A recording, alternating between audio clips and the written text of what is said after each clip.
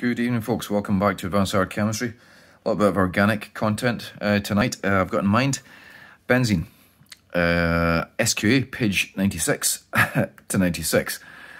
It doesn't sound very much, um, and it used to be a lot bigger. Uh, if you look back through old past paper questions, you'll find a variety of weird oddball questions involving benzene. It, it got dumbed down a few years back.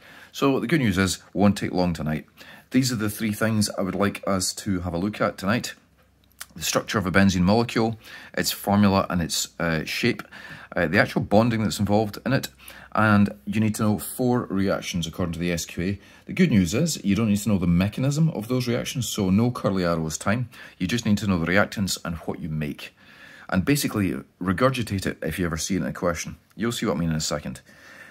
I, I think we'll start with the structure and formula and shape. Benzene is a chemical you don't get your hands on much in school because pure benzene itself is a proven carcinogen. It causes cancer. Having said that, this video is sponsored by ibuprofen, um, invented by Boots in the 1960s. I say invented, it was actually, it was a complete synthetic molecule. Uh, and it's got a benzene ring stuck at the centre of it. So um, it crops up all over the place. Salicylic acid, otherwise known as aspirin, more or less. Acetylsalicylic acid is aspirin, I know. It's also got a benzene ring in it. So despite the fact that the bare molecule is quite nasty, it is almost a, a frequent flyer when it comes to organic chemistry in real-life systems. Let's have a look. C6H6. That is the formula of a benzene molecule. I said I would look at its structure, I would look at its formula and its shape. So here we go, C6H6. Now, if you have been paying attention over the years, you realise that that formula cannot be correct there because each carbon only has three bonds on it. It was thought for a while that perhaps there were three double bonds in here, so cyclohexatriene, in other words. That is most definitely not the case, for a variety of reasons. Let's have a look at a couple of these reasons because the SQA love to ask you about them with a little semi-trick question. These bonds are all identical lengths. Cyclohexatriene would have alternating double and single bonds which are different lengths to each other. Single bonds are longer than double bonds. So this is evidence that uh, it's not cyclohexatriene. Uh, other evidence uh, is to do with the fact that if it did have three double bonds, it would under, so uh, two seconds, identical bond lengths. So bond lengths equal. The reason I'm writing these down, you'll see why. It doesn't say this specifically in the arrangements, but they do like to ask about it. Uh, let me just check, sorry, going off camera for a second. Yeah, so bond lengths are equal. Um, also, it does not do addition reactions in the same way as I don't do football. Uh, I've forgotten how to spell addition reactions. It does not do addition reactions. Uh, and it would if it had three double bonds in it. If you try and react this with bromine, it just sits there and says, I don't think so. Uh, so no addition reactions. Its formula, as I said, is C6H6. Its shape is completely planar, it's totally flat. So if you lifted that benzene molecule off the page and looked at it, it would be completely flat. These H's are in the same plane as these bonds here, which might give you a clue as to the nature of the bonding that's going on here. 120 degrees and completely flat. Does that sound familiar? Uh, and the last thing I would like to put onto here is if you added a different atom onto here, just a single atom, for example, if you added a bromine, then the whole structure would still be completely planar. But if you added, for example, an H3C, a methyl group onto here, then these H's would stick above and below the ring and you would no longer have a planar structure. I have seen them ask that in the past. Multiple choice these days is where it tends to pop up most because the content was dumbed down. Anything I wanted to say? Um, so structure, formula, and its shape. Let's have a look at the bonding in benzene. I may actually cheat and print a nice diagram out from Scholar because my drawing skills are atrocious.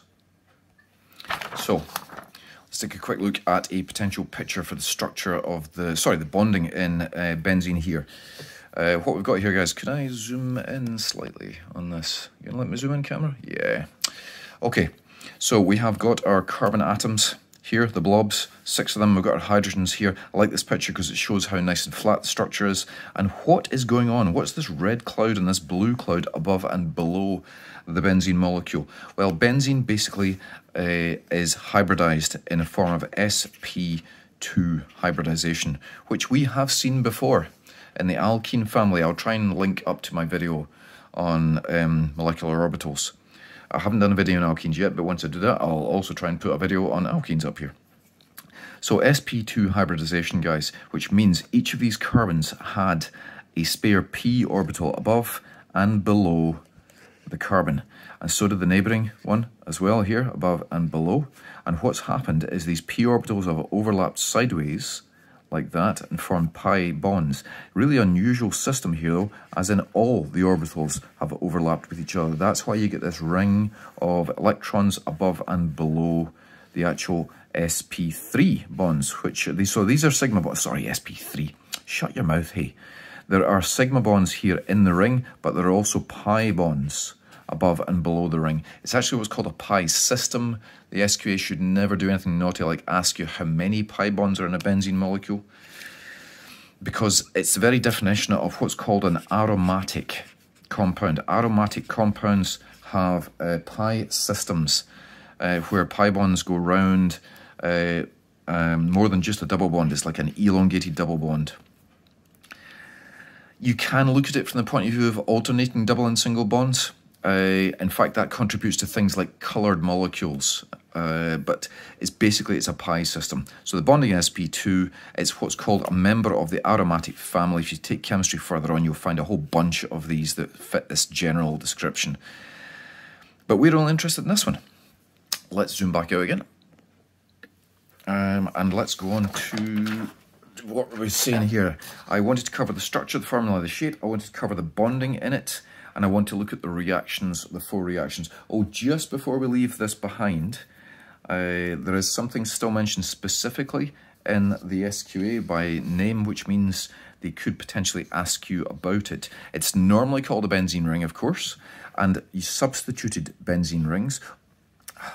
I am a total donut. My apologies. I meant to say that is the correct representation of benzene, of course. Now that we know about this pi system, that is how we show the delocalized ring. Skeletal notation, usually we don't show these H's. They are there, but we don't show them. By the way, you have a look at an example question later on from the SQA, you'll see how they love to actually try and catch you out with this. So this would be methyl benzene, very true. On the rare occasions that you get a molecule containing a benzene ring, but the chemistry of that molecule is not actually governed by the benzene ring. An example of this would be styrene, which has got a benzene ring attached to ethene, effectively. Now, you might think that this takes precedence, but believe it or not, because the double bond is there, when it comes to addition reactions, so as I said, this is called styrene. This is how you make polystyrene, of course. You link these to each other. So the benzene ring is seen as effectively a hanger-on. It's a substi substituent to the ethene molecule. And you don't call it benzene under these cases. If this is less important than this part here, then this is called the phenyl group. And it does say this specifically in the... So this is actually phenyl ethene. Um, does say it specifically in the arrangements, so they might try and ask you that. I think we can move on from benzene uh, there, guys. So we can go back to the reactions. There are four reactions, I said. Really should have done either one. I do sincerely apologise. Fried egg notation, as I like to call it. The benzene fried egg with the delocalized electrons, the pi system in the centre. Let's have a look at the first reaction. Let's have a look at reaction number one involving benzene, my favourite one actually, because it's used to make explosives. I probably... if I ever make any money off these YouTube videos, I've just realized this is probably instantly demonetized because I said the E word there. So you take a benzene ring um, and you cook it up with what I call hell in a beaker. You cook it up with a mixture of concentrated H2SO4. You can't use normal dilute sulfuric acid. It's got to be concentrated and uh, concentrated nitric acid. When you have this lovely combo in your beaker, then you end up generating the nitronium ion, which is one of our electrophiles. uh, and it sticks onto the benzene ring and you generate nitrobenzene. Uh, let's do reaction number two. Now, by the way, this the reason this is up here is this molecule, before we put the nitros on it, benzene ring, methyl benzene, it used to be called toluene in old names. And we put three nitro groups onto it. So this is trinitrotoluene, otherwise known as TNT. Let's do reaction two. So reaction two is sulfonation. And I know we spell it with an F these days, but I'm an old fart, so I'm going to stick with PH. Nothing you can do to stop me. So there. So we have a benzene ring, and we cook this up with just purely concentrated sulfuric acid this time. So conc H2SO4, and you end up making sulfonated benzene. SO3, don't worry about why it is that. There's a whole bunch of historic chemistry that used to be in sixth year. Um, do you need to know? No, we don't. I'm just double checking. Good. Um, so basically, once again, just memorize the type of reaction, the reactants, and the products here, guys. Memorize it, vomit it back up on the page, get the marks, nice and easy. The reason this is here is this used to be used in connection with making detergent molecules where you had a big long chain of carbons up attached to here and you had an ionic bit on the end. But as I said, that's history. Okay, we've moved on to alkylation. In other words, we're going to stick a carbon onto, or possibly multiple carbons, onto this benzene ring. How do we go about that voodoo? Well, what we need is we need another reactant and we need a catalyst. The other reactant in this case is a haloalkane. So let's keep life nice and simple. Let's do CH3Cl. And the catalyst that the SQ want you to know about for this one is aluminium trichloride, so AlCl3. Um, now, what this actually does, although once again, don't think you need to know the details, but if you're wondering how this actually works, is this AlCl3, there's a bond here, of course, with a pair of electrons. This steals the chlorine atom, but also both the electrons in this bond, which leaves you behind a carbocation. So this teams up with this and forms AlCl4 minus, and you're left with CH3, carbocation on demand, which then knocks one of the H's off and sticks itself on instead. And we end up with this, methyl benzene. So that's alkylation uh, which just leaves us with type 4, which takes us to our last one, yeah, halogenation. So we're adding, we're adding a halogen um, to this, and the SQA once again want you to know a couple of options. Uh, there are a choice of catalysts. They want you to know both for some reason. So let's say we were going to add chlorine uh, to this molecule. The other reactant we need is, is chlorine, duh. And the catalysts they're specifying are aluminium trichloride again. Uh, sorry, I've changed my colour code. Should have done that in black. So that's our reactant. And the catalyst you can choose from are AlCl3 or FeCl3. So that's iron 3 chloride or aluminium trichloride. Either one of these two does the same trick as before. Uh, again, you don't really need to know why, but if you know why, it makes it easier to remember, in my opinion.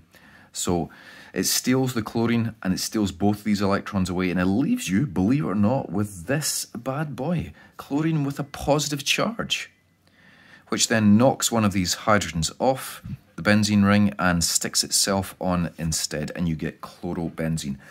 The other option is if you're using um, bromine, so you could stick a bromine on instead and they specifically say they want you to use aluminium bromide this time, a matching so aluminium tribromide or iron tribromide. You know how picky they are. Just keep them happy. And then that would give you a benzene ring with uh, a bromine atom stuck to it. So bromobenzene instead. That is uh, our four reactions. Those are our four reactions, and I am a total clown because um, I should have introduced them as the type of reaction that all four of these are. I don't know if you've noticed this or not, but in common, we're we're starting, we're getting electrophiles for all of these. Where are my nitrations? I've lost my nitration. Here we go. So the electrophile for nitration was NO2+. Plus. The electrophile here was a carbocation. We had a chlorine with a positive charge. So these are all electrophilic. Don't worry about what the electrophile is here. It's a little bit complicated, so we'll just gloss over that. But my point being that I'm a complete donut because I should have specified the fact that benzene does electrophilic substitution. So you need an electrophile and you are replacing a hydrogen from the benzene ring with whatever you want to substitute onto it. So that's what C6H6 does. It loves these. Happy benzene, eh? Uh, when you're doing electrophilic substitution reactions, it doesn't do addition, it doesn't do nucleophilic substitutions.